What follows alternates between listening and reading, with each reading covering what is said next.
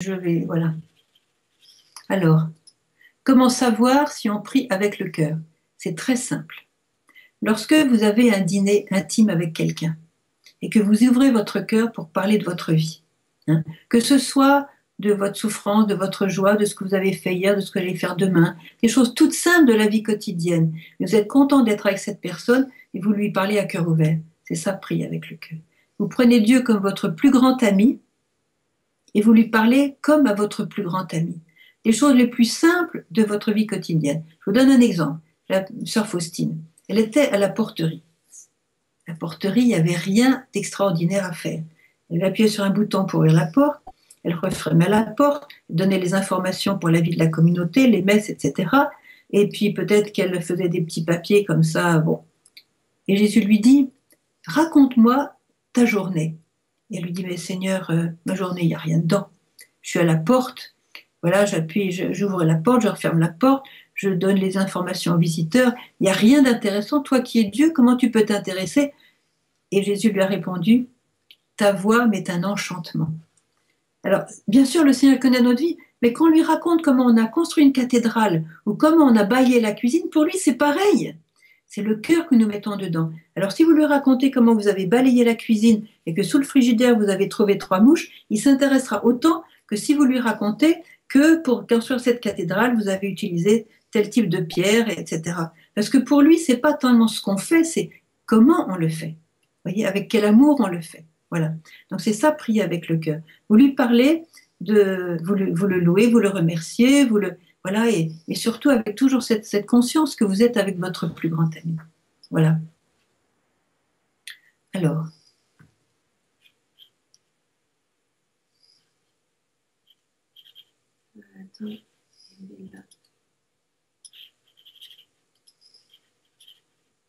Alors, pouvez-vous expliquer votre frère dans les dernières nouvelles Qu'est-ce que vous fait dire, très cher Gospa, alors que la fin de tes apparitions approche et que ah, j'en étais sûre qu'il y aurait une question comme ça.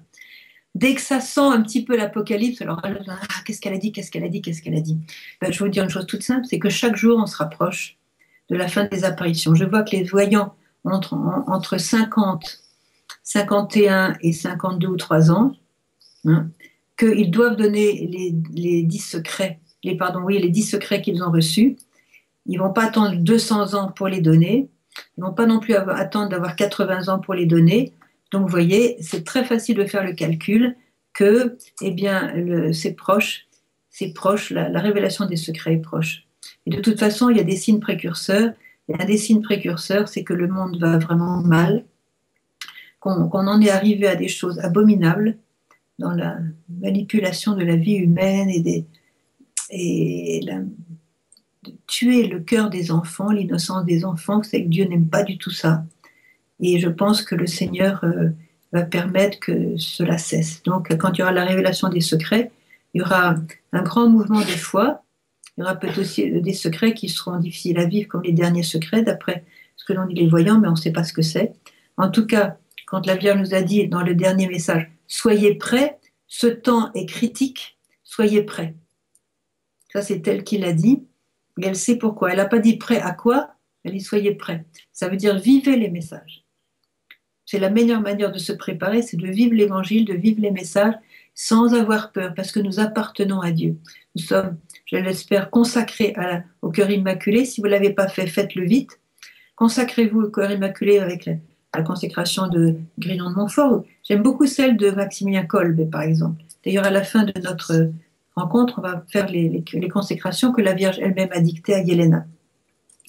Donc consacrez-vous. Si vous êtes consacré, vous appartenez à Dieu, vous appartenez à la Sainte Vierge, donc ils vont veiller sur vous. Et surtout, n'ayez pas peur, parce que quand il y a la peur, quand il y a la crainte, il n'y a pas d'amour, et quand il y a d'amour, il n'y a pas de la place de la crainte. Donc, euh, alors, j'ai pas eu de révélation particulière, mais euh, disons que, voilà, vous voyez, j'ai un nez assez c'est important. Et donc, voilà, chacun sa grâce. Et donc, moi, je sens que ça va pas ça va pas encore durer encore. Euh, là, on en est à 36e, euh, en 3e année. Ça va pas encore durer 30 ans, c'est sûr. Voilà. Peut-être 10, peut-être 15, peut-être 3, peut-être 2. Je ne sais pas. Hein. Vraiment, très sincèrement, je ne sais pas. Il y a toujours les prophètes qui donnent des dates, mais je les écoute pas. D'abord parce que la plupart se sont plantés jusqu'à présent.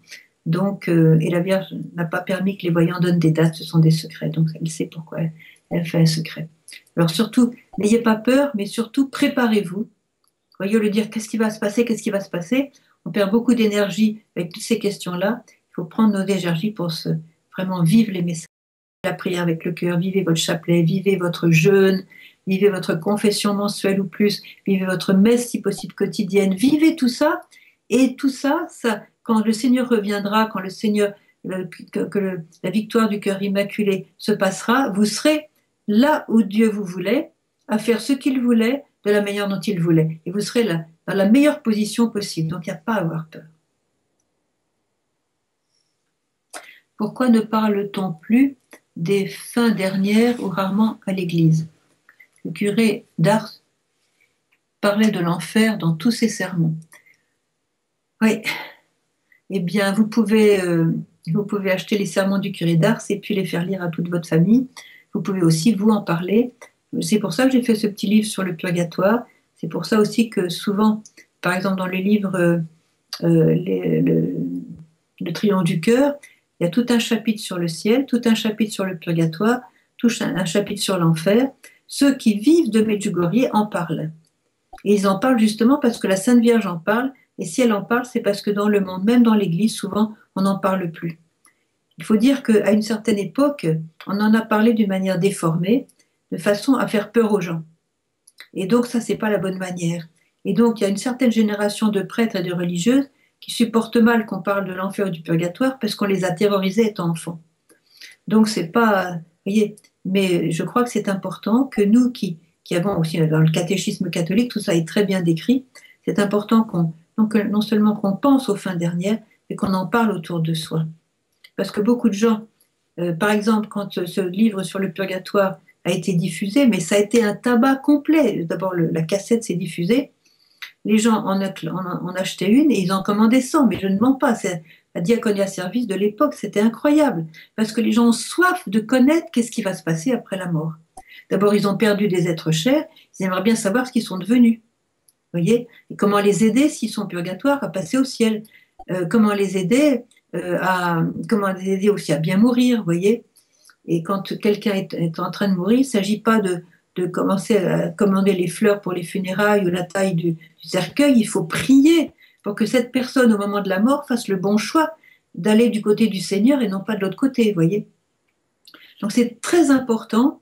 Quand une personne est très malade et que vous savez y en a pour peu de temps, c'est votre devoir de parler des fins dernières. Parce que ce serait un manque, supposer que cette personne, à cause de votre silence, n'aille pas au ciel. Voilà. Ça consiste en quoi?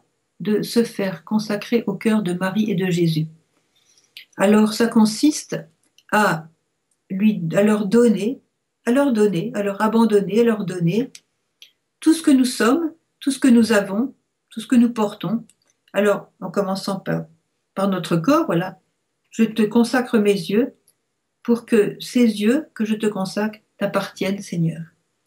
Et s'ils t'appartiennent, eh bien, je vais surveiller mon regard, ne pas regarder des images porno, par exemple, parce que ces yeux-là sont les tiens, je te les ai donnés. Je vais tout consacrer mes oreilles, je ne vais pas écouter des musiques ou des, ou des discours euh, qui critiquent les uns les autres. je vais former mes oreilles à tout ce qui peut me faire du mal. Et parce que ces oreilles-là, elles te, elles te sont consacrées. Je te consacre ma bouche, Seigneur, parce que si je te consacre ma bouche, elle va t'appartenir. Je vais donc veiller à ce que ma bouche ne prononce pas des paroles mensongères, des paroles impures, des paroles de violence, des paroles de haine, des paroles qui pourraient te déplaire, Seigneur. Je, je te consacre mes jambes et mes pieds pour que je n'aille jamais dans les lieux de perdition, et que ce soit tes jambes, Seigneur, qu'elles t'appartiennent et qu'elles me guident toujours vers là où ta volonté veut me mener les mains, voyez, tout, tout le corps comme ça. Je dirais même le sein maternel, parce que quand on est consacré, par exemple, à la Sainte Vierge, au Seigneur, tout en nous appartient à Dieu. Et comme nous appartenons à Dieu, Dieu nous appartient. Ça veut dire que tout ce qui est à lui est à nous, de même que tout ce qui est à nous est à lui. C'est ça la consécration. Nous sommes, faisons corps avec Dieu. Je, je citais le Saint maternel parce que beaucoup de personnes aujourd'hui décide d'avoir le contrôle de la des naissances, par exemple, de, décider, voilà, je on va avoir un enfant, ou bien on va pas, on va pas avoir d'enfant, on va avoir seulement un enfant, ou bien on va avoir seulement deux enfants, etc. Mais ces personnes-là ne sont pas consacrées, parce que ces personnes décident de leur propre chef euh, comment utiliser leur corps et leur capacité de fécondité. Mais si ces personnes sont consacrées, qu'est-ce qu'elles vont dire? En particulier la, femme, la mère. Euh, Vierge Marie, je, t'ai consacré mon sein maternel. Seigneur, je t'ai consacré mon, utérus, mon sein maternel. À toi de me dire combien d'enfants, vu ma famille, vu mon mari, vu ma situation, à toi de choisir combien d'enfants tu attends de moi que je porte. Voilà. Et si on fait ça, vous verrez que la France serait vite repeuplée. Je vous le dis entre nous. Voilà. Donc c'est vraiment, on appartient à Dieu par un don conscient, volontaire et aimant. Vous voyez, en retour, Dieu nous appartient. C'est-à-dire qu'il nous donne ce qu'il a parce que nous lui avons donné ce que nous avons. Il y a sa protection, il y a son aide, il y a son secours. Tous les jours, on a des exemples comme ça. Tous les jours, on a des exemples du secours de Dieu, mais incroyable. Alors, alors, comment faire pour éviter les scrupules dans notre spiritualité? Les scrupules, c'est une maladie très très douloureuse. Et euh, il faut être patient parce que ça, ne s'en va pas euh, du jour au lendemain. Je pense que la petite Thérèse a souffert du scrupule à un certain moment. Saint François de Sales était malade du scrupule jusqu'à ce que le Seigneur l'en délivre. Donc ils ont lutté. Et euh, comment s'en débarrasser? Il faut beaucoup prier pour s'en débarrasser. Et surtout, il faut bien faire des actes de confiance et contempler Dieu. C'est dans l'adoration que le scrupule va, s'en aller, quand vous allez contempler Dieu à travers sa parole aussi, hein, la parole pour rencontrer le Dieu vivant et le Dieu vrai, pas un Jésus superstar qu'on se fabrique comme ça, mais le Dieu, le vrai Jésus de l'Évangile. Vous allez le contempler dans l'adoration, dans, l'Eucharistie, et c'est lui qui va vous délivrer de cette maladie du scrupule qui est, euh, je dirais, euh, la grimace de la confiance. Voilà. Quand on a du scrupule, on, regarde son péché, on le tourne dans tous les sens, on a peur de son péché et euh, on se rend malheureux comme les pierres. Et pour, euh, alors que Dieu nous a pardonné depuis longtemps, on est encore là à fouiller dans les poubelles de notre, notre culpabilité, c'est horrible. Et puis scrupule à faire ceci, scrupule à faire cela, c'est une maladie dont il faut guérir. Dieu veut nous en guérir. Ça prend du temps, mais il veut nous en guérir. Alors, une question sur Facebook. Est-ce que des protestants viennent à Medjugorje et changent d'avis sur la Vierge Marie? Ah oui, ça c'est oui. Est-ce que des protestants viennent à Medjugorje et changent d'avis sur la Vierge Marie? Je peux vous donner un exemple d'un Anglais qui est venu et qui était en fait un pasteur protestant. Non, pardon, il était protestant, qui était pasteur. En tout cas, il était très très engagé dans son, dans son église protestante. Et alors, il avait toujours refusé d'aller à Medjugorje parce que, ben, justement, c'est un lieu marial. Mais ses quelques amis euh, catholiques euh, l'ont vraiment tanné de venir, l'ont emmené. Finalement, il a craqué, il est venu. Et ce, ce, protestant, plutôt, était quand même très proche du Christ, hein, parce qu'attention, les protestants, ils connaissent le Christ quelquefois bien mieux que nous, faut bien le dire. Hein. parce qu'ils scrutent la parole, eux. Voilà. Ils connaissent la parole par cœur, eux, je le signale. Donc, euh, voilà. Il arrive à Medjugorje, il était à peine arrivé, il va sur l'esplanade devant l'église, là, il monte les marches, et là, il entend Jésus qui lui dit, c'est moi-même qui ai invité ma mère à venir ici. Elle attire à elle mes enfants et elle me les amène. Ça, c'est la parfaite théologie catholique. Alors il s'est mis à pleurer, pleurer, pleurer. Il a changé son avis sur la Vierge Marie. Et au moment de repartir, il raconte cette histoire, il a témoigné. Au moment de repartir, la même chose. Le Seigneur, il était à peine prendre le chemin du retour, il est en train de monter dans son taxi. Et, à nouveau, le Seigneur lui a redit exactement la même chose. C'est moi-même qui, j'ai moi-même invité ma mère ici pour qu'elle elle, elle invite mes enfants et elle me les amène. Elle attire mes enfants, pardon, et elle me les amène. Celui-là, il a changé son option pour la Vierge Marie. J'ai vu aussi un pasteur protestant. C'était un hiver, je l'avais emmené chez. On était très, très, très amis. Je l'avais emmené chez Vitska. Vitska a donné, euh, comme d'habitude, son, discours sur les cinq points de Medjugorje et puis sur les messages principaux. Et euh, il m'a dit, mais tu sais, nous les protestants, si on savait ce que est la Sainte Vierge, on changerait d'avis. Parce que tout ce qu'elle a dit là, mais on voit qu'elle est nôtre. Parce elle est de notre côté, ça voulait dire, elle elle est nôtre. Parce que regardez ce qu'elle dit. Lisez la Bible tous les jours. Ben, nous, on le fait et vous ne le faites pas. Voilà. Alors, il y a eu beaucoup d'exemples comme ça. Il y a eu des protestants qui ont été guéris, il y a eu des juifs qui ont été guéris, etc. Enfin, la Vierge, elle, on est tous ses enfants, hein. alors euh, elle s'occupe de chacun. Il y a aussi une autre question sur Facebook. Euh, est-il important d'aller à la messe tous les dimanches? Est-il important d'aller à la messe tous les dimanches? Non, c'est pas important. C'est obligatoire. Il n'y a pas à se poser la question si c'est important ou pas. C'est obligatoire. Quelqu'un qui ne va pas à la messe de dimanche n'est pas catholique. Il n'est même pas chrétien. Regardez les commandements de Dieu. Tu célébreras le Shabbat. Alors on n'a pas le Shabbat parce que les Juifs ont gardé le Shabbat. Nous, on a le dimanche pour célébrer le Seigneur. Mais celui qui ne vit pas une fois par semaine de célébrer son Dieu, c'est pas un croyant. Un croyant, c'est celui qui adhère. S'il adhère pas, il n'est pas croyant. Il a beau dire je crois en Dieu, non, il ne croit pas en Dieu. Il sait que Dieu existe, mais c'est pas pareil. Alors il est, indispensable, plus que important, il est indispensable d'aller à la messe tous les dimanches ou le samedi soir il est important d'essayer d'aller à la messe aussi en semaine. Mettez la Sainte Messe au centre de votre vie, nous dit la Sainte Vierge. La messe est le plus grand privilège donné à l'homme sur la terre. Il n'y a rien de plus grand, de plus élevé que la Sainte Messe. Vivez la messe, nous dit Marie. Allez volontiers à la messe et que la messe soit vie pour vous. Comment faire si je dois travailler le dimanche? Alors, si je dois travailler le dimanche, d'abord, on essaye d'avoir un travail qui ne nous fait pas travailler le dimanche. Première chose. Si on a le choix, on n'a pas toujours le choix. Et si je ne peux vraiment pas faire autrement de travailler le dimanche, par exemple, je suis infirmière, je suis médecin, je suis de garde, je travaille le dimanche, voilà. Alors, soit on essaye d'avoir la messe du dimanche plus tôt le matin ou plus tard, plus tard le soir, parce qu'il y a des, par exemple, à Paris, il y a des messes à 8h ou 9h du soir quand on sait se renseigner, voyez. Mais si c'est vraiment pas possible, eh bien, on choisit un autre jour de la semaine, le samedi par exemple. Le samedi soir, on peut aller à la messe du, la messe euh, du dimanche le samedi soir, vous voyez, la messe dominicale du samedi soir. Et si on ne peut pas non plus le samedi soir, eh bien, on choisit un autre jour, mais de, on, met toute sa bonne volonté d'être le plus possible normaux, c'est-à-dire d'essayer absolument d'aller le dimanche. Si c'est pas possible le dimanche, le samedi soir, et si c'est pas possible le samedi soir, le samedi, euh, enfin, de faire tout pour, voilà, pour euh, vivre ce que le Seigneur nous demande. Parce que le Seigneur ne regarde pas ce qu'on a réussi ou pas, il regarde notre bonne volonté. Et celui qui cherche trouve.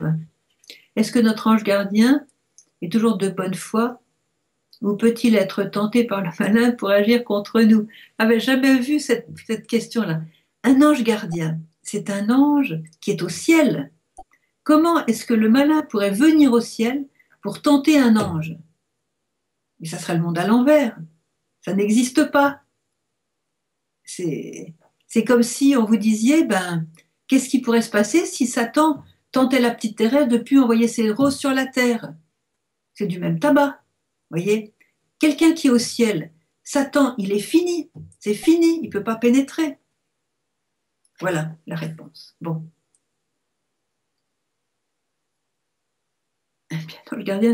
L'ange gardien est gardien du chemin de sainteté pour nous de la part de Dieu. Dieu va même jusqu'à dire Celui qui écoute son ange m'écoute. Vous voyez Il faut être très, attentif aux mouvances de notre ange gardien qui, euh, moi, quelquefois, je dois dire, je confonds entre quand c'est Dieu qui parle à mon cœur ou c'est mon ange gardien. Et quand c'est Dieu qui parle et que, quand c'est l'ange gardien et que je dis c'est Dieu qui m'a parlé, il ne se vexe pas. Parce que ce qui donne, c'est seulement la parole de Dieu, donc ça va. Combien de temps venir avant la messe? La Vierge demande qu'on vienne, si possible, dix minutes avant la messe pour se préparer à vivre la messe et s'extraire de tout le bruit qu'il y a autour, de toutes les distractions, et se préparer son cœur aussi à recevoir Jésus. Elle nous demande aussi de rester après la messe un petit peu de temps, sans se précipiter dehors, pour serrer les louches et donner les dernières nouvelles, afin de de, garder Jésus dans notre cœur le plus longtemps possible et de parler avec lui. Elle a dit, si vous, faites, si vous, si vous faites ça, euh, chers enfants, eh bien, il y aurait il y aurait moins de malades parmi vous et vous permettriez à Dieu de faire plus de miracles chez vous. Voilà. Donc, vous voyez, la messe doit être préparée, doit être bien vécue, et surtout pas tout de suite sortir, faire tout ce brouhaha dès la, la fin de la messe. Ça, ça déplaît profondément à la Vierge et au Seigneur, parce que c'est un moment profond d'intimité avec Dieu, et euh, surtout au moment de la communion. Il ne faut pas que cette onction, je dirais, soit brisée euh, trop trop vite. Est-ce qu'on peut consacrer mes enfants adultes qui sont loin de Dieu? Bien sûr. Ça ne peut pas leur faire de mal. Il faut prier pour qu'eux-mêmes se consacrent eux-mêmes, mais vous pouvez les consacrer, oui, s'ils sont loin de Dieu, bien sûr. D'ailleurs, un enfant peut être consacré euh, dès le sein de sa mère. Un enfant peut être consacré dans son berceau. Il n'a absolument pas conscience de ce qui se passe. C'est les parents qui lui disent plus tard. Mais c'est une grande, grande protection de consacrer les enfants. Et n'oubliez pas que quand vous consacrez votre enfant, eh bien, vous reconnaissez que c'est à Dieu qu'il appartient, donc c'est pas à vous. Voyez? Et donc, c'est à Dieu de, de créer pour, ce, pour cet enfant un chemin particulier. Et votre rôle de parent ou de grand-parent ou de parrain, marraine, c'est d'aider l'enfant à vivre pleinement la vocation que Dieu a mise en lui et ne pas projeter vos propres, vos propres désirs sur l'enfant. Alors, faites-moi des questions qui font une ligne, s'il vous plaît, sinon je n'ai pas le temps de les lire. Confession une fois par semaine ou une fois par mois? La confession une fois par semaine ou une fois par mois. La Vierge demande une confession une fois par mois, minimum une fois par mois, car dit-elle, il n'y a personne sur la terre qui n'aurait pas besoin d'une confession mensuelle. Mais quand elle a institué les groupes de prière à Medjugorje, eh bien, elle demandait qu'on se confesse une fois par semaine. Il faut dire qu'ici, les prêtres ne mentent pas. Euh, voilà, nous, on marche à peine dix minutes et puis on est à l'église, il y a beaucoup de prêtres. On est vraiment très privilégié à Medjugorje au niveau des prêtres. Je sais que chez vous, c'est beaucoup plus difficile. Il faut prendre rendez-vous quelquefois. Les, les temps de, confessions ne sont pas toujours annoncées visiblement dans les, églises. Et dans certaines églises, il n'y a même plus de confessionnaux. Il euh, bon, enfin bref, c'est un peu difficile. Alors, priez la Sainte Vierge qu'elle vous aide. Vous n'avez qu'à lui faire un petit chantage affectif, maternel, en disant Tu me demandes de me confesser une fois par mois ou une fois par semaine. Regarde, il n'y a pas de prêtre, ou le prêtre est trop occupé, et puis il n'aime pas confesser, et puis ceci, et puis cela. La Vierge vous écoutera, et comme elle vous a donné ce message, elle sera bien obligée de vous aider à le réaliser. Moi, je pense que c'est très bien se confesser une fois par semaine. C'est dans les couvents, on fait ça. Euh, Sœur Faustine, elle faisait ça. Il y a beaucoup de couvents, on fait ça. C'est pas toujours possible non plus, mais une fois par mois, absolument. Personne qui n'en a pas besoin. Alors, euh, bon, tu as d'autres questions? Euh,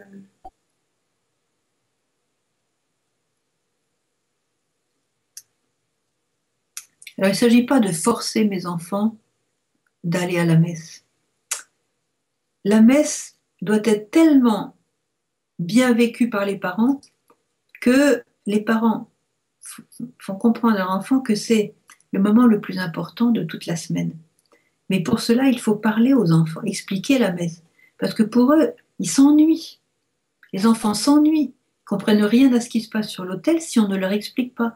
Mais si on leur explique ce grand mystère que se déroule sur l'autel, ils vont suivre la messe. Et puis, il y a différentes manières, de, selon les âges, voyez, de leur parler de la messe. Il ne faut pas que ce soit un endroit où ils entendent qu'on se met en chute, chute, ne bouge pas. C'est l'horreur pour eux. voyez Donc, il faut d'abord leur apprendre à se tenir bien. Hein, et ne mettez pas des enfants qui crient devant pour que tout le monde soit distrait pendant, le, pendant la messe. Mettez les enfants qui crient plutôt derrière. dans beaucoup de paroisses, maintenant, il y a un lieu pour que les enfants puissent avoir leur petite catéchèse privée euh, au moment où les, adultes ont la, première moitié de la messe, ils peuvent venir à la deuxième moitié de la messe. Ça, c'est très bien parce que les enfants sont pris en charge, ils, voient qu'ils comptent, qui, comptent pour les adultes et, euh, et on leur explique bien la messe.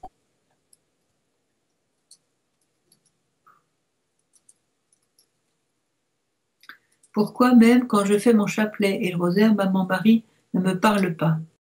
Est-ce que vous attendez d'elle qu'elle vous parle? Qu'elle vous dise comme votre femme vous parle ou votre mari vous parle, je ne sais pas qui vous êtes. Euh, le Seigneur ne parle pas, la Vierge ne parle pas comme un homme parle. C'est en faisant l'écoute dans votre cœur que vous allez écouter petit à petit le murmure de sa voix. Il faut beaucoup de silence, il faut beaucoup de silence, beaucoup de calme.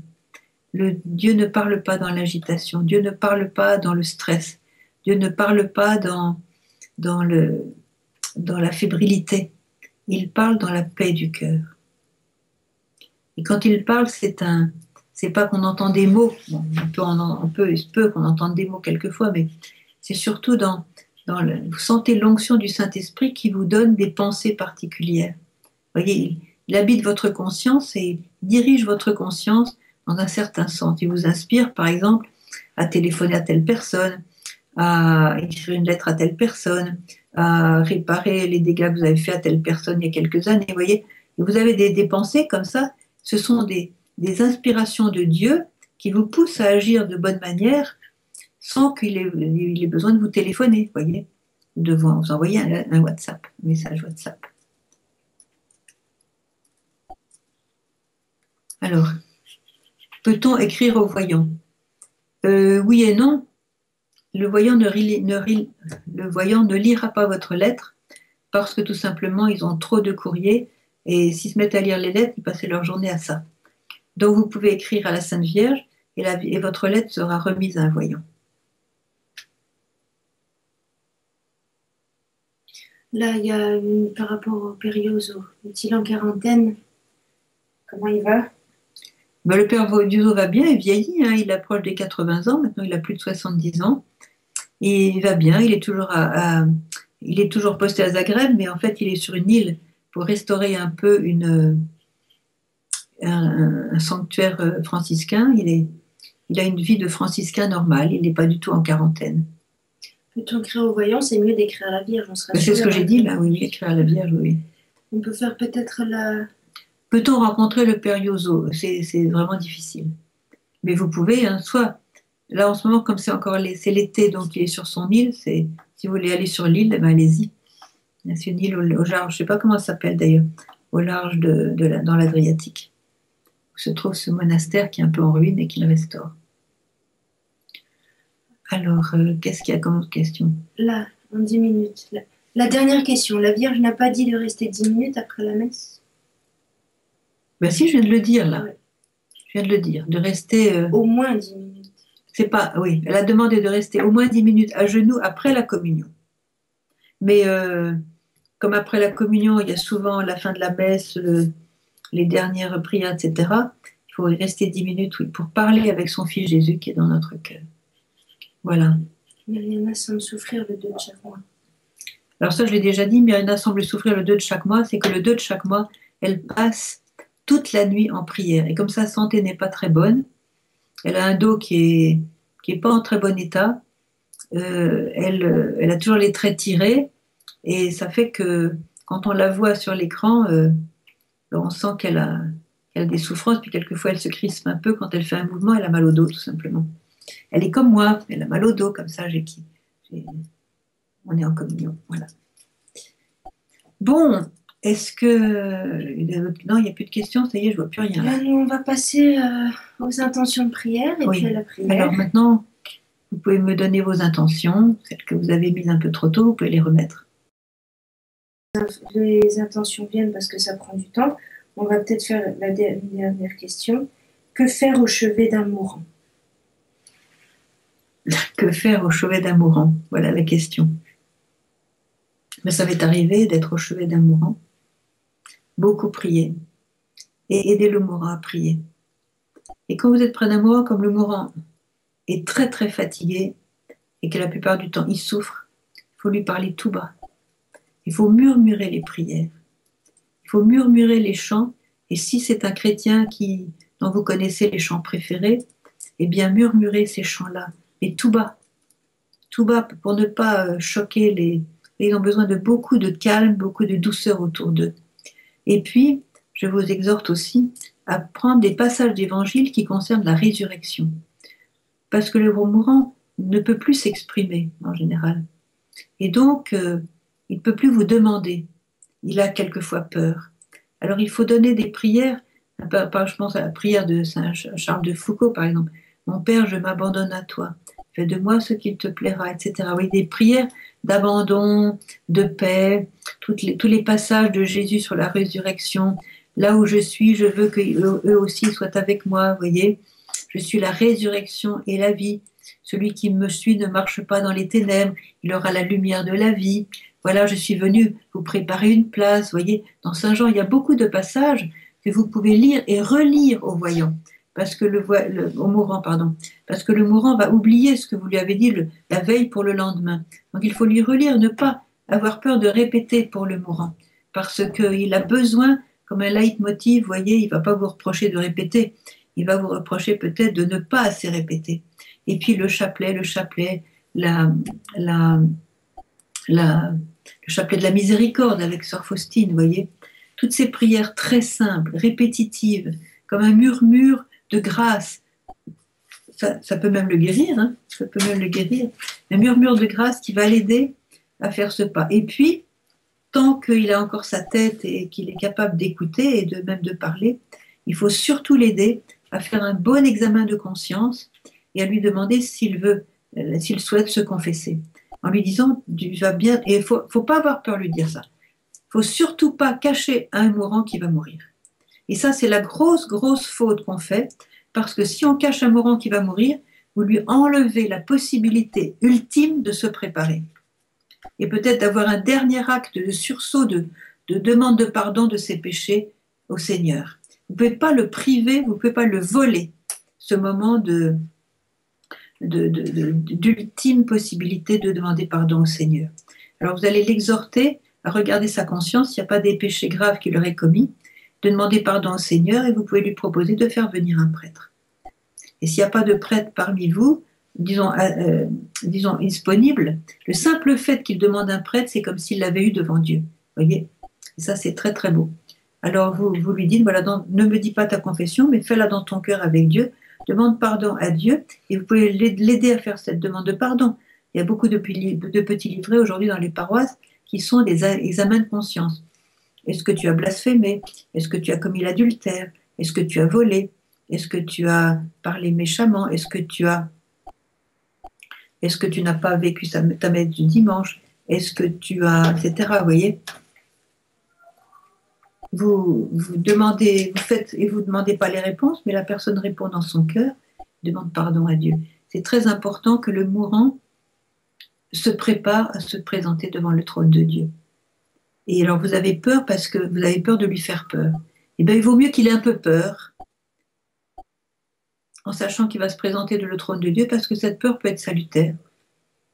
Moi, je connais, je connais cet homme qui ne voulait absolument pas voir un prêtre ni ni se confesser, il envoyait promener toutes les propositions de prière.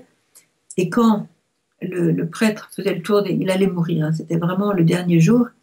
Alors, monsieur, je suppose que vous ne voulez pas être enterré. Je rentrais les papiers là pour les, les funérailles. Je suppose que vous ne désirez pas être enterré à l'église, monsieur. Ah, si, j'y compte bien. On ne sait jamais. Voilà. Croyez pas, mais il disait on ne sait jamais. Eh bien, ce simple on ne sait jamais, déjà, donner une possibilité. Peut-être que pendant son agonie, ce on ne sait jamais s'est transformé en, Seigneur, je crois en toi. Vous voyez?